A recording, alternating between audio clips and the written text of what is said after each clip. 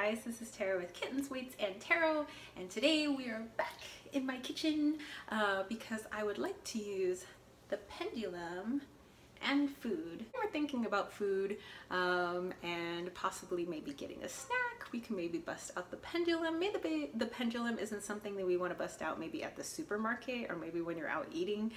that might be a little bit weird. You're like, you know, got the food over the menu or the pendulum for the menu and you're like, hmm, I wonder if this is good for me or not. But the pendulum is a great way uh, to figure out uh, whether something is beneficial for your body or not. Um, because remember what I've said before that in, well, in my belief, the pendulum um, kind of stems from your higher self or your subconscious and or both. And uh, due to micro movements in your hand will tell the pendulum yes or no, or I don't know. If you're choosing a snack and you don't know if that snack is beneficial for your body or maybe um, you're having a few issues and you don't know which foods might be the culprits, a pendulum might be a great way to figure that out.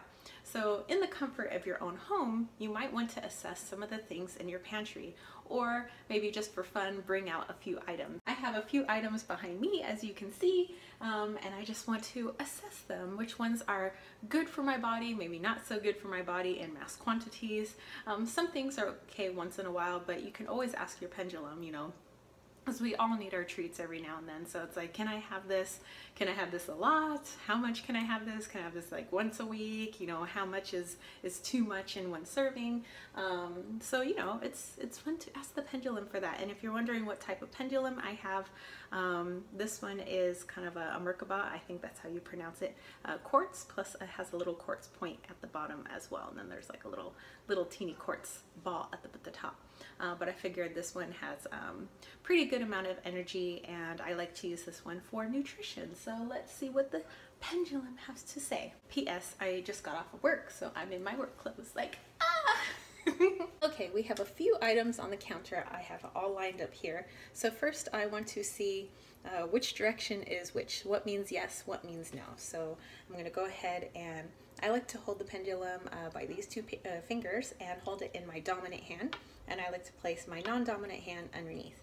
So I ask the pendulum, please show me yes. Okay, I'm gonna show you guys so you guys can see that it's swinging to the right. Thank you, please show me no. Okay, you guys can see now it's swinging to the left. Please show me I don't know and now it's just swinging back and forth. Now let's try out some foods. So I love tomatoes. This tomato actually grows from my backyard. Um, however, it grew kind of funny and I don't think it's bad. Um, it's just that it grew weird. It's not that it became rotten or something like there's a few tomatoes that kind of grew like this and um, I don't know if it's still good to eat. So um, judging by how it looks, maybe I don't want to eat it, but I'm just going to go ahead and ask the uh, pendulum. Okay, uh, is this safe for me to eat? Okay, pendulum is saying it's safe for me to eat. Will I enjoy this? No, so it probably tastes gross. So it's not gonna kill me, but it's eh, probably not the best tasting. Next thing I have is one of my lemons, and this came from my friend's lemon tree. Um, so it's a little soft. I don't know if that I can still use it for things. So is this lemon still useful? Can I use it for food? Okay, it's saying no. So maybe if I just want to, you know, freshen up the garbage disposal or use something where this is not going to be going in my digestive tract, then maybe this is still good. Now I have some blueberries. Um, these blueberries are a little soft and I prefer to have my blueberries uh, nice and firm. Um, so I'm just going to ask the pendulum if they're still safe to eat or if it's going to cause any issues because I don't want no digestive issues. Okay, so pendulum, are these blueberries still safe to eat? Okay, so it says yes. Will it cause any uh, stomach issues? No. Okay, so maybe they're not the firmest blueberries, but they're not gonna kill me and they're still fine for me. So, okay, now I know. We'll go to our basic stuff, stuff that we know is, you know, okay for us. So first I'm gonna go to an apple. Um, is this apple beneficial for my health? Okay, yes. Is it okay to eat one at least once a day? Okay, yes. Is it okay to eat two apples a day? No. Okay, maybe a couple of apples a day, maybe a little high on the sugar intake, plus um, you might be in the restroom for a little while. now we go on to our avocado. Is this avocado safe for me to eat? No. That's interesting. Still, like, feels pretty good. Ooh. I don't know if you guys can see that. I did not know there was mold growing on my avocado. Hmm. Okay, well then, now I know. Thank you. I'm glad I did this video. I love honey. I haven't had honey in a little while, so I just want to ask if honey is okay to bring back into my diet. So, is honey okay for me? It says yes. Can I have a tablespoon a day? Okay, that would still be okay. Could I have two tablespoons a day? No. Could I have this and other uh, sugar related items?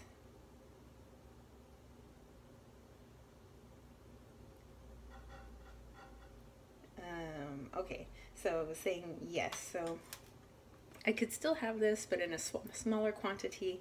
And if I'm, I'm going to have other sugar related items, they're going to be kind of like natural sugars. So like an apple is natural sugars. Into my favorites, Nutella. By the way, I'm not sponsored by Nutella, but that would be sure awesome if I was, because I love Nutella.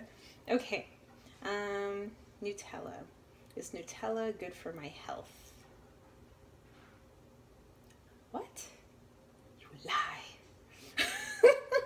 Pendulum says no. Why? Why, Nutella? Why? Okay. This is a sometimes food and maybe not an everyday food. So let me just ask. Okay. My beloved, my beloved Nutella. Nutella, Nutella. Okay. Um, could I have at least a tablespoon a week? Yes. Okay. Okay. Tablespoon week. And we're good. We're good. I usually have a couple of these a week. This is one of my protein bars. And I just want to know if that's safe for me. Is this protein bar beneficial for my health? Okay, yes. Is it safe to eat one every day? No. Is it safe to have one every other day?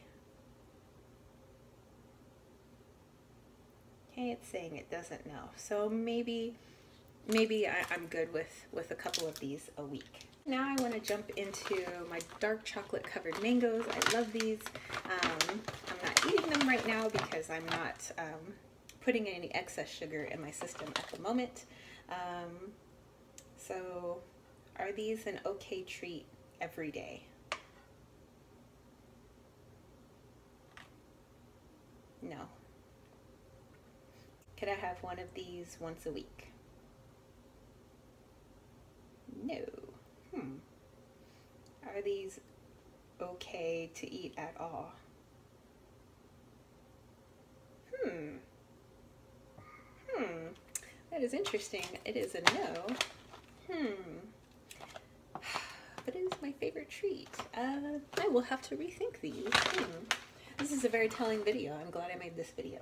Of course, um, you know, I'm whatever, I'm part Filipino. I'm gonna have rice. Uh, I usually have like rice that's not in a package, but I just happen to have packaged rice uh, laying around. It was like gifted to me from one of my friends. Um, normally I have like the giant bag of rice, but for video purposes, you guys can see that this is rice.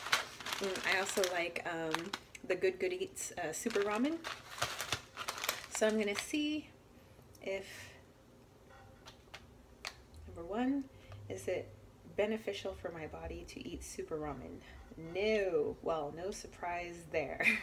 There's a lot of starch in there and a lot of MSG and a lot of preservatives. And okay, is rice in general okay for me? No. Hmm. I love rice. I live off of rice. I have not had rice though in quite some time, but it seems like it doesn't jive with my body.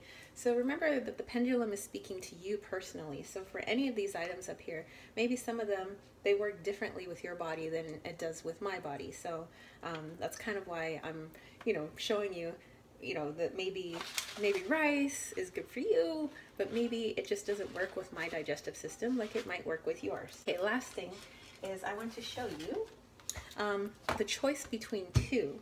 Um, so we have uh, Kerrygold uh, Irish butter, um, which is uh, made from grass-fed cows, and so the butter comes out kind of completely different um, uh, because the cow's been able to graze and eat what it naturally does, which is grass. Um, and then here we have just your regular Kirkland uh, salted sweet cream butter. Um, so I want to know you know, if it's beneficial to keep buying the more expensive brand or um, can I just save the money and get me some Kirkland? Okay, so I'm going to ask the pendulum to please swing yes over the butter that is best for my heart health and my overall health.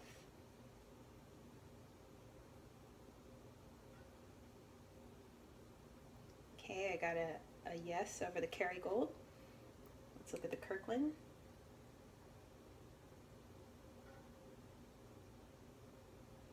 Hmm, this one's kind of weird. It's getting like a I don't know. It's like a yes, I don't know. Okay, so there you have it. All right, so there you guys go. Um, just another useful way to use your pendulum. And again, you don't have to go out and buy a, a fancy pendulum. You can use uh, any heavy object um, hanging off of a string or a chain. It could be your necklace, you know, as long as you have a pendant hanging off of that necklace. Um, you could have a piece of thread and uh, one of your rings uh, hanging off of that and you can create your own pendulum. So I just happen to have this fancy one for my food. Um, but now you can see that there's several ways that you can use it. Um, you can use it for nutrition. You can use it for, you know, um, if you're going on a specific diet, if certain things are within the diet. Um, if you're trying to cut out certain foods, if you're trying to find out if mystery foods um, might be the culprit for your gastrointestinal problems, um, if you might be having some bloating or issues or you know stuff we don't talk about. Girls don't have that. Um, so you know it's always nice to kind of kind of get a little uh, opinion from the pendulum. Of course, with anything, especially if you're having serious issues, definitely consult your doctor. Um, but for little stuff where it's just like, hmm, I'm hungry, I want a snack, you know, should I get this or should I get this? You know, you can consult your pendulum. So again, I am not a licensed doctor, so I cannot give you health advice, although I am a registered nutritionist um, and certified personal trainer. Um, it's always best to consult your personal um, doctor first before getting anybody else's advice or you take somebody's advice and you run it past your doctor first. All right, so that's it from me. So if you like this video, don't forget to give it a thumbs up. Don't forget to click subscribe. If you would like more videos like this, don't forget to click that notification bell right next to the subscribe button and I'll catch you spiritual homies later. All right, peace, love, and chicken grease. Peace out.